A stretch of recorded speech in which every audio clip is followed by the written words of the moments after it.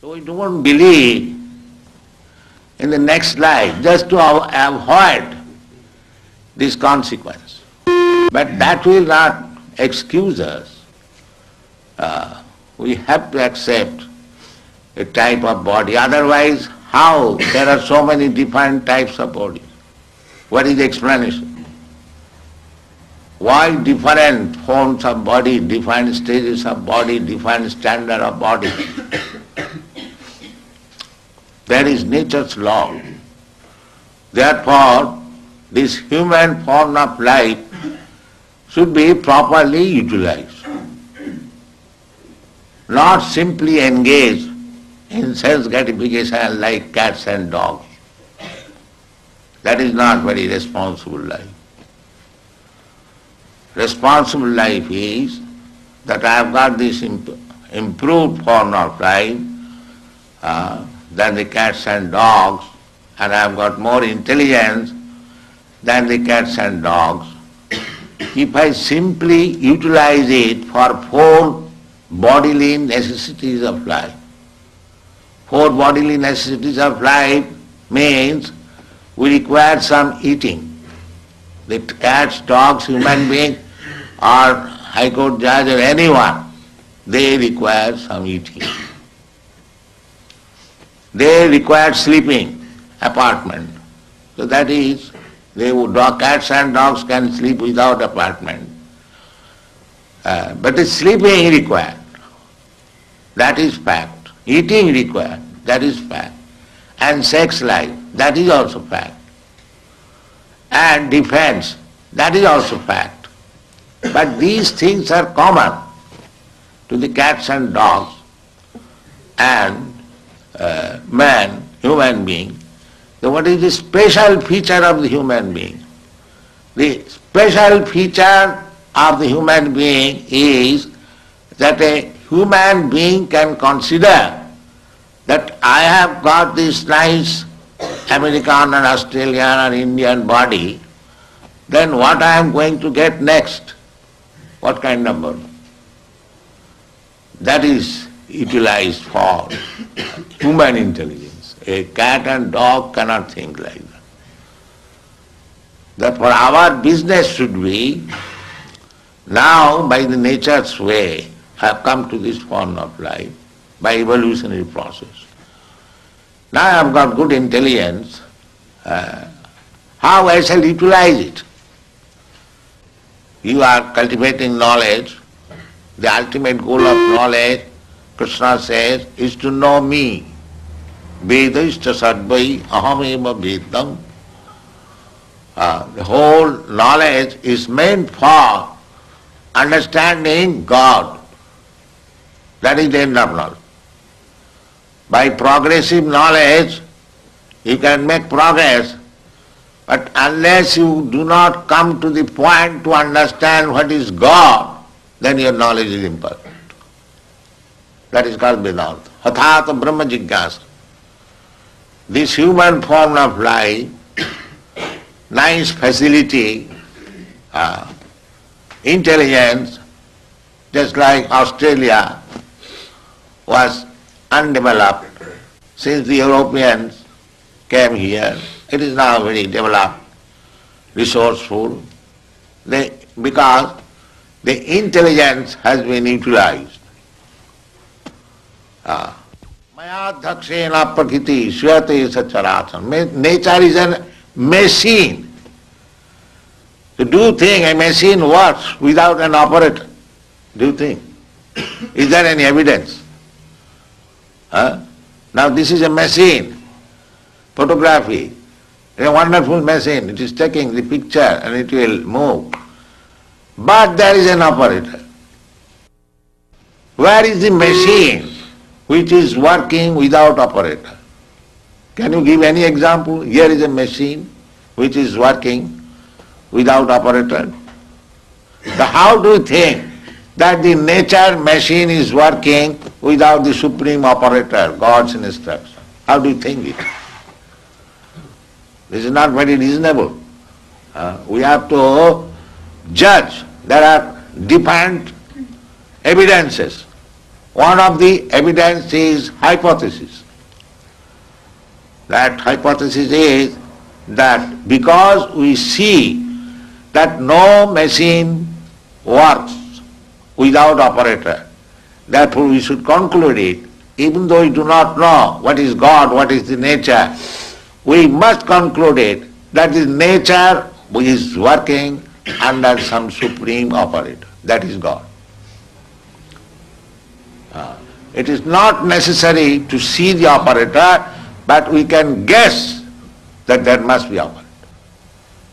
The human life is meant for finding out who is there to operate. That is human life. Otherwise it cats and dogs life. They're eating, sleeping, mating and dancing, that's all. That is not human life. You must find out who is the operator. Athat Brahma Jigyasa, this is called in Sanskrit word. Now this human form of life is meant for inquiring about the supreme operator. Now that supreme operator, Krishna, is so kind. He is giving evidence in the Bhagavad Gita. Maya dhaksena prakriti syate sacharacharam. Now here I am, under my direction, the prakriti, the nature, material nature is working. So you accept, then your business is done. And Krishna gave evidences how he is controlling the nature. When Krishna was seven years old, he lifted one big mountain on his finger. That means the, we, our understanding is that there is law of gravitation. By law of gravitation, such a big mountain, it cannot stay in one man's finger. That is our calculation. But he did it. That means he counteracted the law of gravitation. And That is God. Ah. So, if you believe this, then you, are, you know God immediately. There is no difficulty. Just like if, if the child is warned, my dear child, do not touch fire, it will burn you. So if the child accepts, then he gets the perfect knowledge immediately. If the child does not accept, he wants to make experiment, then he will burn his finger. So our process of knowledge we should take from the supreme authority. Then we save time for research work. That is Krishna consciousness movement. We take perfect knowledge from Krishna. I may be imperfect, just like child is imperfect. I may be imperfect, you may be imperfect. But if you take the perfect knowledge from the Supreme Perfect, then your knowledge is perfect. Ah, that is the process. This is called avarohopantha, knowledge coming, deductive knowledge. Uh, so everything is there and if you uh, like to take advantage of this movement, make your life perfect, go back to home, back to Godhead, then fully utilize the center, our Melbourne center, come here, read our books and argue, try to understand with your full knowledge, no blindly acceptance. Uh, there is reason, there is argument, there is philosophy, there is science, everything is there. Uh, and if you accept that simply by chanting I shall realize, that is also allowed. Uh, both ways. If you accept this simple process, the chant Hare Krishna and realize God, that is also fact. And if you think what is this nonsense chanting Hare Krishna, then you read books. Both ways we are prepared. Come and take advantage of this moment. Thank you very much.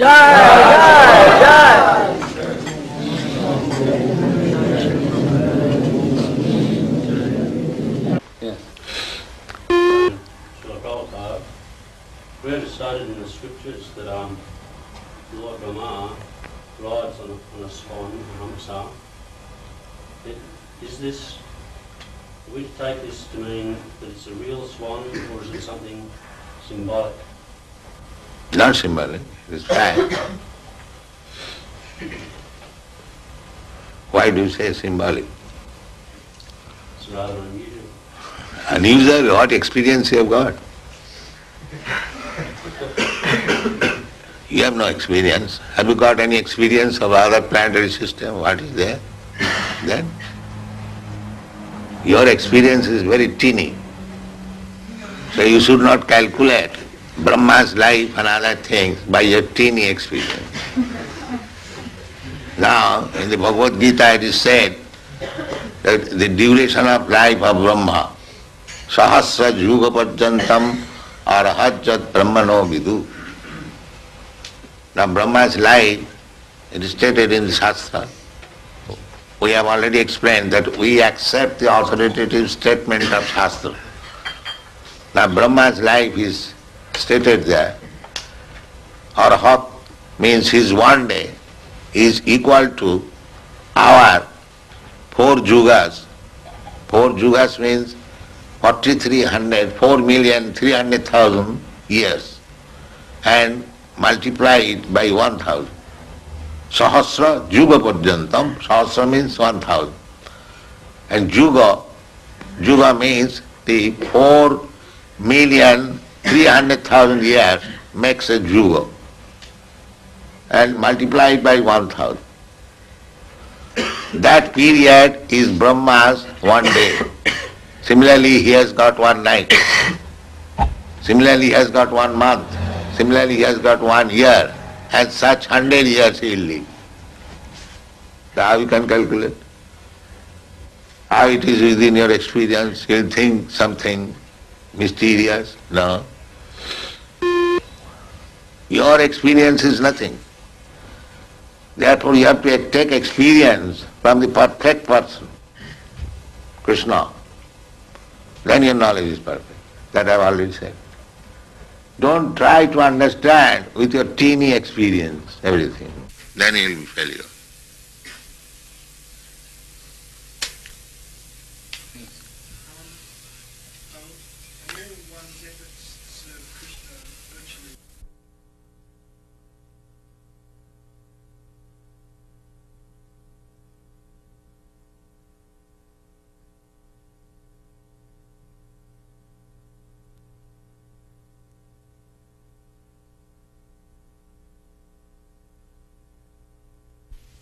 That I have already explained. That uh, you are coming here, even though you are not initiated, that is also service. So, if you deposit one cent daily, one day it may become hundred dollars. So when you get the hundred dollars, you can get the business. So you come here daily, one cent, one cent. When it will be hundred dollars, you will become a devotee. So this is not wasted. It is, uh, that is stated in the Srimad Bhagavatam. Krita punna punya. Krita punna. Krita means done. And Goswami is describing when Krishna was playing with his cowherd boys' friends. So he was describing that these cowherd boys who are playing with Krishna, they have not come to this position in one day. Krita punja, after life after life, having performed pious activities, now they have come to this position, that they are allowed to play with the Supreme.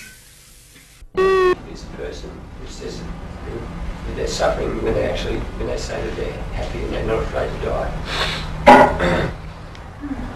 Someone who is not afraid to die and says that he's not suffering. How do He's a madman. That's all. Who is caring for madmen?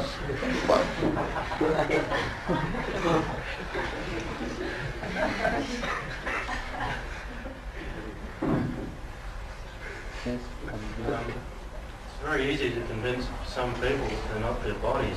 but It's not very easy to convince them they're not their minds. Is there some, some way we could explain? That will take time. How can you expect? In one minute everyone will understand everything. It requires education, time. If he is prepared to give the time, then he will understand. not that within five minutes, ten minutes he will understand the whole thing. That's not possible.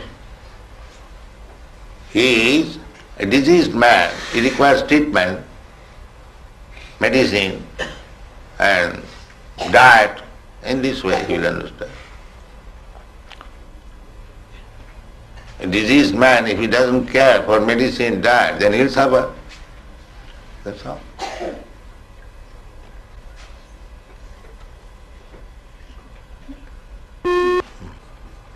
Yes? Anyone? No? Yes, one. Um, if we've been here lifetime after lifetime performing impious activities, well, does it mean that we have to be here lifetime after lifetime performing pious activities to, to balance our, our sinful reactions? Hmm? We have been here for many lifetimes performing sinful activities. So is it possible to counteract all those sinful activities in one lifetime, or does it require many One lifetimes? minute. That is Krishna consciousness movement. One minute. You are not reading Bhagavad Gita? What Krishna says? Sarva dharman paritajya mam ekang saranang braja ong ta sarva papebha mokshayami. You surrender unto me, give up your all business. I will give you relief from all sinful reaction, immediate. It requires one minute. My dear Krishna, I was forgotten, now I understand, I fully surrender. And you become immediately free from all sin. Without any reservation, without any politics.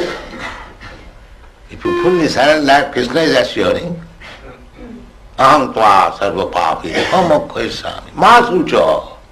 He reassures. Don't worry whether I will be able to, to give you relief from all. Masucha. It is guaranteed. You do this.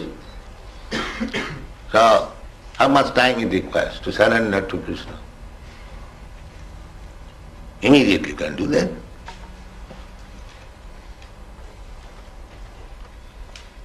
Surrender means you surrender and what? As Krishna says.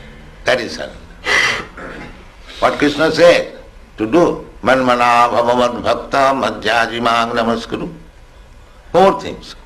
You always think of me and you become my devotee, you worship me and offer your respect, full obeisances and you do these four things. That is full surrender.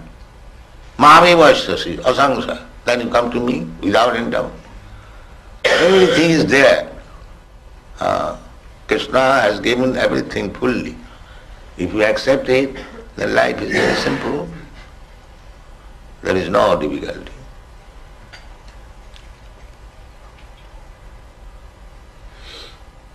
Yes? How long do you say it is before Krishna comes to this planet again in physical in human form? Now, anyway, what is your Australian conclusion? Let me know. Their billion is something else. Oh. Anyway. I give you the right figure. Four million, according to American and English calculation. Four million, three hundred thousand years. And multiply it by one thousand. Then what it comes according to English calculation? billion, four billion, three hundred million. Huh? Four billion, three hundred Uh, million. that is 12 hours. And add again 12 hours night. Then 8 billion. Six hundred million. So Krishna comes after this period. In one day, after one day, a Brahma, he appears.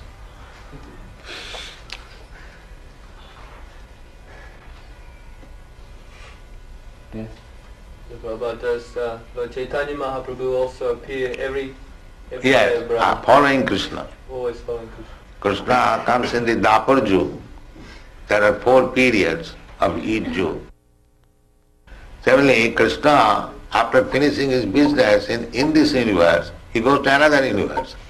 In this way, the rotation takes 8 million, 9, 9 billion years. Now, just imagine how many universes are there He stays in one universe for 125 years. Everything is a calculation in the Shastra. Now we can imagine how many universes are there. That is altogether material one. That is stated in the अथवा बहुनैतेन किंगैतेन तवार्जुन विष्टभ्य अहम इदं कृष्टम एकांशेन स्थितो जगत this material creation is one fourth creation of the whole God's property. And the three fourth part is in the spiritual world. That is God. Not that cheap God, I am God, he is God. We don't accept such cheap God.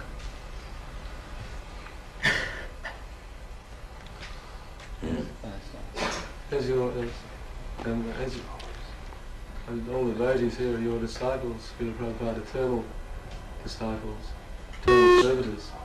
And what if we have to take birth in the material world in the next life? How will we be able to render direct service unto you? Yes.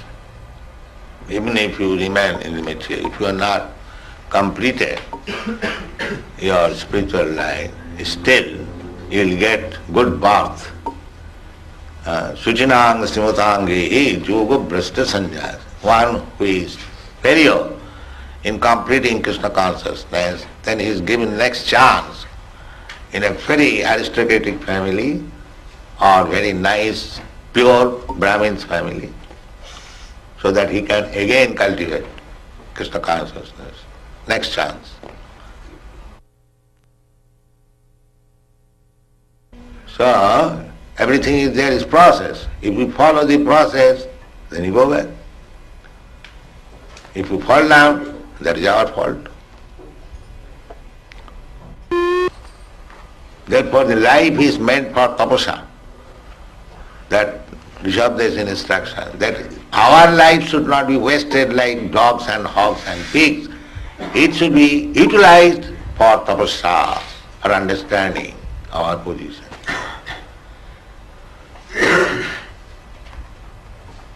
Tapa putra kajena suddheta satya. This is the aim of life. We have to purify our existence. At the present moment, our existence is impurified. Therefore, we are subjected to birth, death, old age and disease. And as soon as we purify ourselves, then we are not subjected to these four material laws. Thank you very much. Hare Krishna.